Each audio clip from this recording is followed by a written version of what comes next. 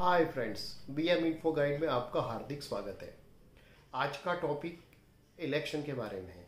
Cooperative housing society में जब election होता है तो सबसे पहले ये सवाल आता है कि इलेक्शन में कौन कैंडिडेचर नहीं कर सकता है।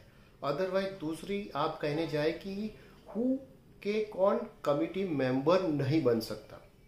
दोस्तों, बहुत सारे सवाल थे, इसलिए मैंने सोचा कि क्लियर कट आपको गाइडलाइन दिया जाए, जिससे आपका सारा डाउट एक ही वीडियो में क्लियर हो जाए।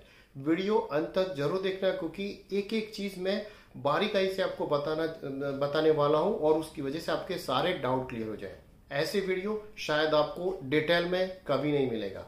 दोस्तों अगर आपने मेरे चैनल को सब्सक्राइब नहीं किया तो सब्सक्राइब कीजिए लाइक कीजिए और आपके दोस्तों के साथ शेयर कीजिए, क्योंकि अपार्टमेंट फ्लैट और आपके जैसे रियल एस्टेट रिलेटेड इशू मैं लेके ये वीडियो मैं अपने चैनल में आता हूँ।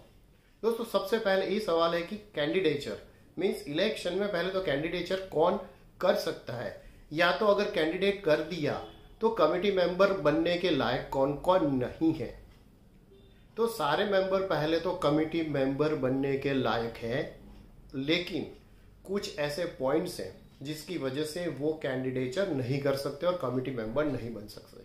सबसे पहला कि अगर जो कम, जो फ्लैट या तो अपार्टमेंट है, वो उसने लास्ट तीन महीने से उसने मेंटेनेंस पेमेंट नहीं किया है। या तो दूसरे में आप ये समझो कि आपको डिफॉल्टर का नोटिस मिला है तो आप कैंडिडेचर नहीं कर सकते हैं। मीन्स अगर आपको कोई जेन्यून रीजन है जिसकी वजह से आपने कमिटी को बता दिया है राइटिंग में आपने परमिशन ले लिया है तो ओके बट आपने तीन महीने तक लगातार मेंटेनेंस पेमेंट नहीं किया है और आप डिफॉल्टर डिक्लेयर हो चुके हो तो आप कैंडिडेट नहीं हो सकते हो कमिटी मेंबर बनने के लायक नहीं हो. दूसरा, अगर आपका फ्लैट ज्वाइंटली है सपोज़ हस्बैंड एंड वाइफ है, जिसमें हस्बैंड का नाम पहला है वाइफ का नाम दूसरा है, या तो बाप और बेटा मीन्स पिता का नाम पहला है और बेटा का नाम दूसरा है। तो सबसे पहला जिसका नाम है शेयर सर्टिफिकेट में, वो तो बाकायदा कैंडिडेचर हो सकता है और वोटिंग भी दे सकता है। कमिटी मेंबर भी बन सकता है।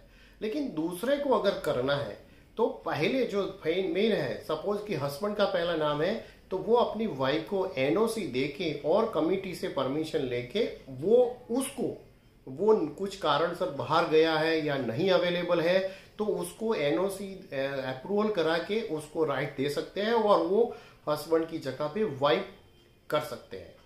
वो एक हो गया। तीसरा, कि अगर फ्यूचर पास्ट में कोई पर्टिकुलर मेंबर ने कोई मीन्स कायदे कानून जो सोसाइटी के बाय रूल्स पालन नहीं किया है और उसको कमिटी ने कुछ नोटिस भी दिया और सब मेंबर को पता है कि ऐसे लोग जो मिसबिहेवियर करते हैं और जिसका रिकॉर्ड अच्छा नहीं है, दूसरा केस में गिना जाए तो कोई क्रिमिनल रिकॉर्ड है तो ऐसे बंदे को कमिटी मेंबर्स नहीं बना जा सकता।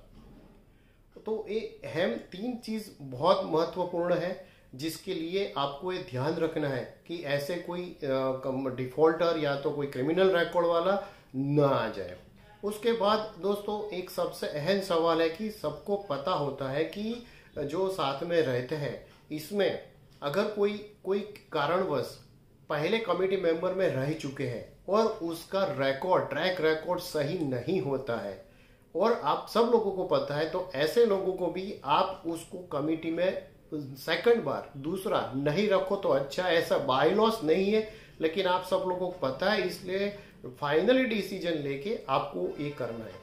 और चौथा सबसे मेन रीजन की अगर एजीएम होता है हर साल और उसमें से लास्ट तीन एजीएम में विदाउट इंटीमेशन वो अंदर एजीएम में आया नहीं है, उसकी प्रेजेंट नहीं है। या तो उसकी प्रेजेंट के लिए उसने एक्नोलेजमेंट पहले से नहीं दिया है तो ऐसे कैंडिडेट को भी कमिटी मेंबर बनने के लायक नहीं है। होप कि दोस्तों, ये चार पॉइंट आपको क्लियर हो गए होंगे। ये चार पॉइंट के अलावा कोई ऐसा नहीं है। अगर नहीं है तो बाकी वो कैंडिडेचर हो सकता है और कमिटी मेंबर भी बन सकता है। थैंक यू दोस्तों, आपको ये टॉपिक कैसा लगा? ज़रूर से कमेंट करना।